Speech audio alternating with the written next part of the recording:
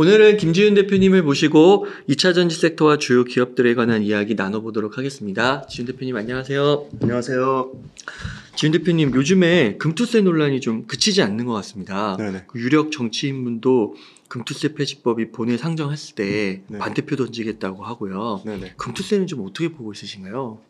아 사실 이거 흥분하면 안 되는데 진짜 너무 국회의원이 기득권층이고 특권층이잖아요. 근데 국민들을 담보로 이렇게 질질 끌면서 이런 식으로 하는 것 자체가 저는 상식적으로 말이 안 된다고 생각하고 그리고 원래는 발표가 예상했던 것보다 계속 미뤄지고 있잖아요. 지금 이제 최종적으로 얘기 나온 거는 두 달 뒤에 발표한다고 했는데 사실은 그 교육감 선거를 보고 좀 약간 결정하렸던 측면이 있었던 것 같아요. 근데 교육감 선거에서 서울 쪽에서는 단일화 해가지고 민주당이 이겼고 나머지 지방에서는 민주당이 참패했거든요. 그래서 그 지도부 민주당 지도부 쪽에서도 유예 아니면 폐지 쪽으로 가닥은 잡았는데 계속 이거를 어떤 그 국민 개인 투자자를 담보로 뭔가 어 뭐 딜을 하려고 하는 형상이 좀 보여서 상당히 요런 측면이 주시장에 굉장히 큰 불확실성으로 자리 잡고 있고 실제 지수 자체도 굉장히 부진한 모습을 보이고 있고요. 특히나 이 2차 전지가 많이 시총에서 차지하는 비중이 큰 코스닥에서 아 거래량이 네. 진짜 계속 맞아요. 빠져나가는 것 같아요. 엄청나게 거래량이 줄었죠. 거래량만 줄은 게 아니라 그 소위 말한 증시가 좋으면은 왜 신용도 쓰고 미수도 쓰고 레버리지를 쓰잖아요. 레버리지를 많이 쓴다고 좋은 건 아니지만 그만큼 장이 좋고 장에 대한 긍정적인 모멘텀이 많이 나오면 배팅을 하는 건데 보통 1월 달 기준으로 보면 21조 8천억에서 지금 18조 밑으로 빠졌으니까 엄청나게 빠진 거고 거래 대금도 뭐 코스피, 코스닥 모두 지금 거의 15%에서 20% 정도 줄었더라고요. 그래서 계속 줄어드는 추세에 있고. 그런데 반대로 얘기하면 그럼 그 자금은 다 지금 해외에 나가 있거든요. 해외 지금 우리나라 채권하고 주식하고 ETF 우리나라 국민이 지금 사고 있는 수치가 지금 194조래요. 어마어마한 돈이잖아요. 194조가 우리나라 증시를 부양하는데 돈이 들어왔다고 생각해 보세요. 그럼 코스피 4천 가겠죠. 기업들도 엄청 그렇죠. 기업들도 엄청 자금 정확합니다. 자금 조달하기 엄청 좋은 상황인데 미국이 지금 다 돈이 넘어갔어요. 근데 이게 미국으로 돈이 넘어가는 게 언제 끝날지도 몰라요. 근데 저는 그 미국으로 돈이 넘어가는 거에 가장 큰 그 트리거는 역시나 이 금투세 관련된 불확실성이 저는 굉장히 크다고 보고 있고요.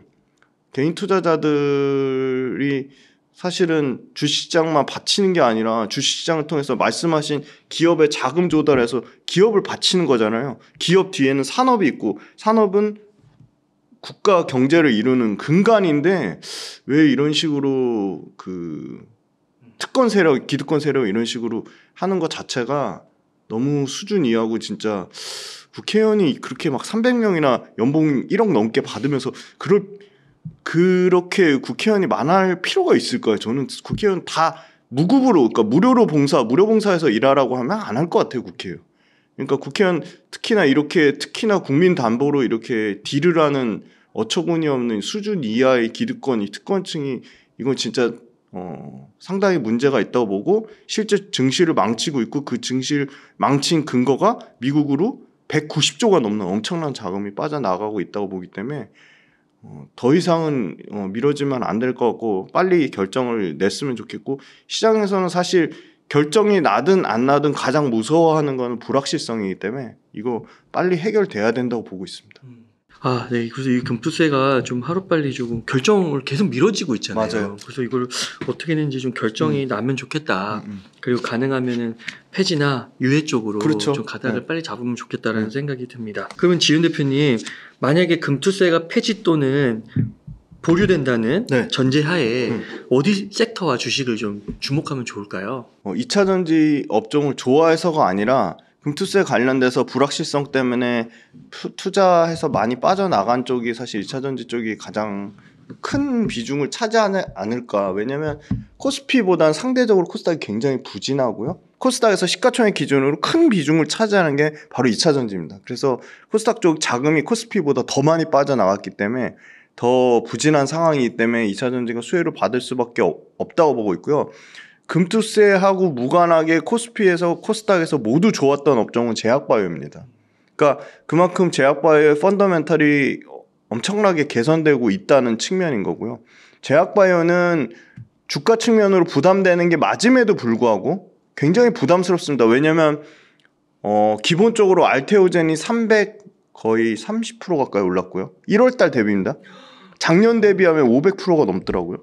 그 다음에 제2의 알테오젠이라고 불리는 리가켄 바이오조차도 지금 드디어 100% 수익률이 넘었습니다. 연초 1월달 대비해서 엄청나죠. 초대형주인 유한양행 큰 대형주잖아요. 유한양행도 100% 수익률이 넘었습니다. 그 다음에 뭐 그 밑단에 뭐 ABL 바이오도 뭐 거의 7, 80% 수익률이 났고요. 뭐 삼천당장, 뭐 펩트론 이런 거 뭐 다 기본적으로 100% 이상 수익 났거든요. 그러니까 엄청나게 수익이 많이 났음에도 불구하고 여전히 외국인이나 기관이 사고 있다는 거는 그 이상을 보는 측면이 있는 것 같고. 그래서 금투세 폐지 관련된 최대 수혜주는 사실 2차 전지가 될 것 같고 금투세와 무관하게 그냥 하반기 쪽에서 계속 좋아질 거라고 보는 거는 제약바이오라고 보고요. 저는 제일 궁금한 게 앞으로 반도체를 팔았던 수급이 어디로 제일 많이 갈 거냐. 그 반도체를 팔았던 수급이 제일 많이 가는 걸 예상을 해보면 결국은 수출주에 답이 있지 않겠냐 생각이 들거든요. 그러면 수출 데이터 잘 나오는 게 아직도 굳건합니다. 전력기기 쪽 수출 데이터 잘 나오고 있고요. 화장품 수출 데이터 잘 나오고 있고요. 그 다음에 조선도 수출 데이터 나쁘지 않습니다. 방산 좋고요. 그러면 결국은 한정된 자금으로 수출 데이터가 잘 나오는데 valuation 부담이 없어야 되잖아요. 근데 전력기기, 화장품, 방산, 조선 이 중에 실적이 가장 드라마틱하게 개선되는 것은 조선입니다. 그리고 valuation 부담도 조선이 가장 낮습니다.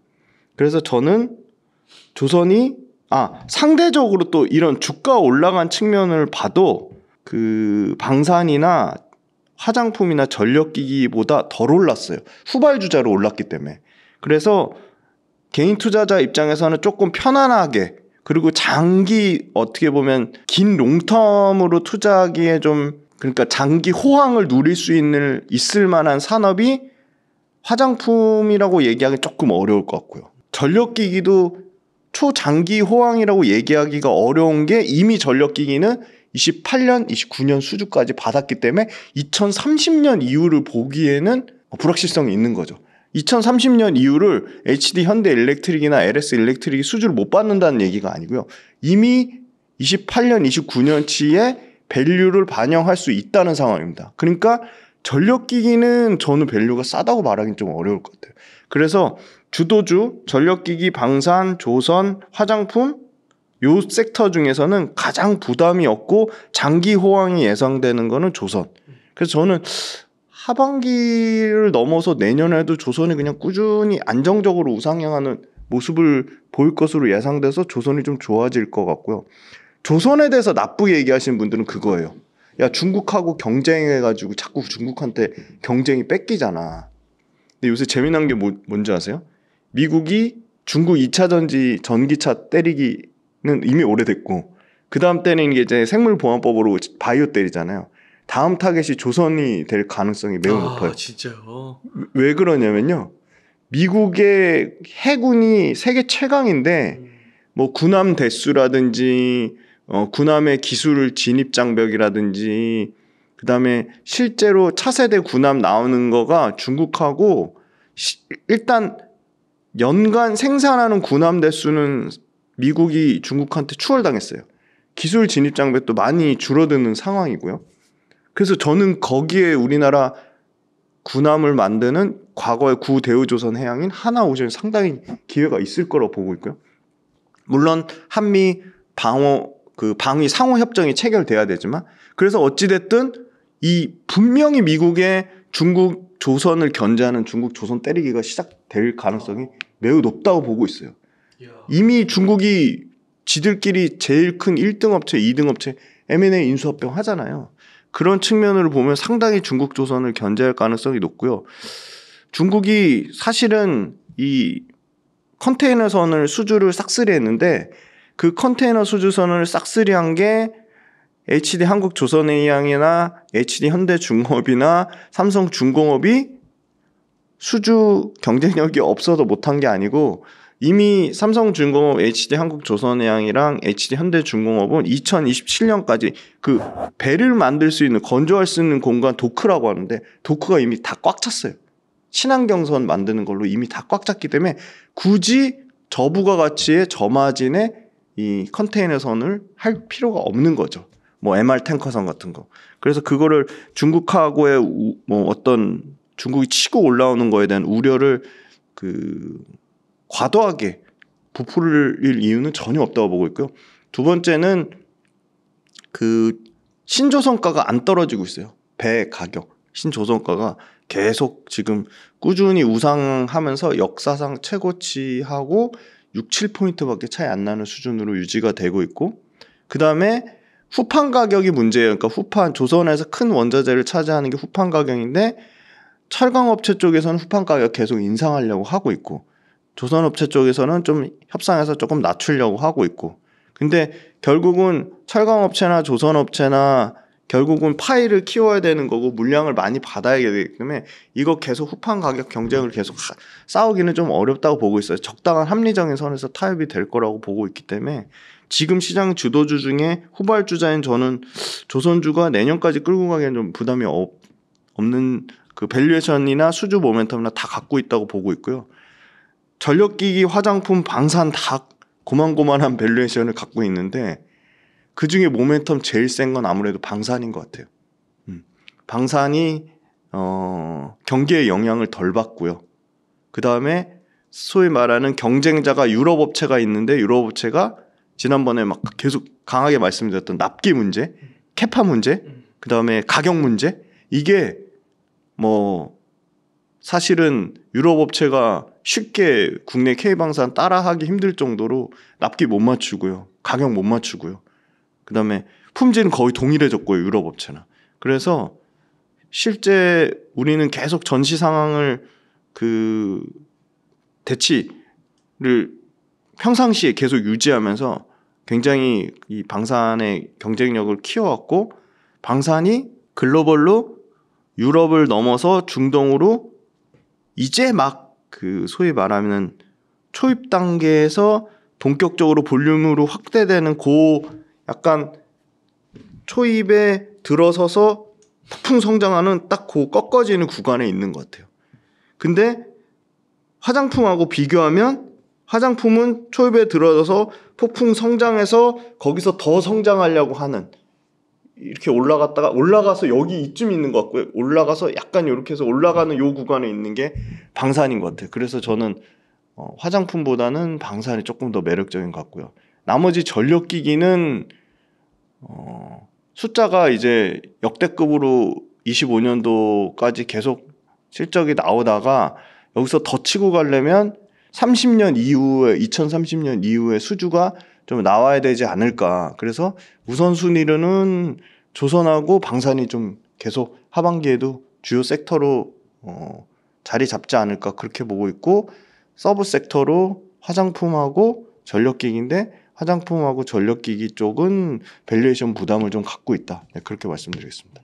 그러면은 2차 전지 조선 방산 뭐 이 정도 한번 네네. 다각화시키면 괜찮을까요? 그러면은 그 2차 전지 한번 이제 질문을 드리면은 요즘에 이제 K 배터리가 포트폴리오 다각화 전략을 취하고 맞아요. 있다는 얘기가 많이 나오면서 삼원계 네네. 그동안 많이 이제 주목을 받았었는데 이쪽뿐만 아니라 이제 LFP도 하고요. 음, 46파이 원통형 폼팩터 음. 등도 생산을 하고 이게 또 그냥 말만 나온 게 아니라 계약 금액도 앞으로 막 수조 원대에 달할 수 네네네. 있다라는 보도가 막 나오더라고요. 맞아요. 그래서 2025년부터는 음. 본격적인 뭐 공급도 가, 가능하다. 그래서 이런 다각화 전략이 정말 가능하고 진짜 지금 원활하게 잘 진행되고 있는지 궁금해지더라고요. 네. 제일 중요한 질문인 것 같은데 폼팩터의 다각화, 고객화의 다각화, 글로벌 지역의 다각화가 제일 배터리 업체 또는 배터리 업체 밑단에 있는 value chain 업체들이 살아남는 길이라고 보고 있고요. form factor는 말씀 주신 대로 어, 배터리 형태를 말하는 겁니다. 원통형, 각형, 파우치요. 그런데 삼성 SDI 같은 경우는 각형만 하고요. SK 온 같은 경우는 파우치를 하고 각형을 하려고 하고 있고요. LG 엔솔이 원통형 파우치형을 다 하고 이제 각형까지 하려고 하는데 어, 대표적으로 가장 글로벌 고객사가 잘 돼 있는 게 LG 에너지 솔루션이고요. 그 다음에 배터리 형태를 다 하는 게 LG 에너지 솔루션입니다. 그래서 24년 들어서 하반기에 수주가 폭증하면서 지금 현재까지 20조 넘는 수주를 받았습니다. 이게 LG 에너지 솔루션 최근 24년도 배터리 공급 계약인데요. 이거 그 신문 기사를 참고했는데 1월 달에 일본의 이스즈 모터스랑 2170 원통료 배터리를 계약했고요. 금액은 1조 이상입니다. 하나큐셀이랑 4.8 기가와트 시에 ESS용 아마 이게 LFP ESS일 겁니다. LFP 배터리를 수주를 받았고요. 이것도 1조가 넘고요. 르노의 최초로 이제 전기차용 LFP 배터리를 받았죠. 이거 어, 4조 5천억에서 아마 5조 6천억 정도 사이즈입니다. 그다음에 벤츠의 어, 최초로 4680 원통형 배터리 수주를 받았습니다. 약 6조 6조 7천억 정도입니다. 그다음에 포드하고는 프리미엄 3원계 나오는 거는 니켈, 코발트, 망간에 알루미늄이 포함된 NCMA 배터리를 얘기하는 것 같고요. 예. 그 요게 75기가와트, 34기가와트 합쳐서 총 109기가와트시로 10조 넘게 한 13조를 예상을 하고 있습니다. 그래서 원통형 배터리, ESS에 들어가는 LFP 배터리, 전기차에 들어가는 LFP 배터리, 그 다음에 그 프리미엄 4원계 배터리까지 다양하게 LG 엔솔이 실제로 수주를 받으면서 증명을 하고 있고요. 어, LG 엔솔에 뒤따라서 SK온이 지금 그 각형 배터리를 하고 있고 삼성 SDI가 바로 LG 엔솔하고 원통용 배터리에서 경쟁사가 되려고 원통용 배터리를 삼성 SDI도 25년 말에서 26년 초에 원통용 배터리를 하겠다. 지금 삼성 SDI는 어, 배터리 폼팩터 중에는 가장 안정성이 높다고 판단되는 각형을 위주로 하고 있고요. 그러면 중국 업체들은 어떠냐? 중국의 BYD나 CATL 전부 각형입니다. 그러니까 BYD나 CATL이 원통용 배터리로 LG 에너지 솔루션의 경쟁사가 되기 어렵고요. LG 에너지 솔루션의 원통용 배터리 경쟁사가 되려고 할 수 있는 거는 파나소닉이 어, 좀 강력한 경쟁사로 보고 있습니다. 그리고 테슬라가 자체적으로 원통형 배터리를 자체적으로 내재화하고 있지만 그게 지금 쉽지 않은 상황이기 때문에 계속 지금 LG 에너지 솔루션의 그 오창 공장을 생산을 땡기라고 해서 어, 오창 공장이 이제 계속 미뤄지다 드디어 이제 12월 달에 양산하는 걸로 스케줄이 어, 나온 거고요.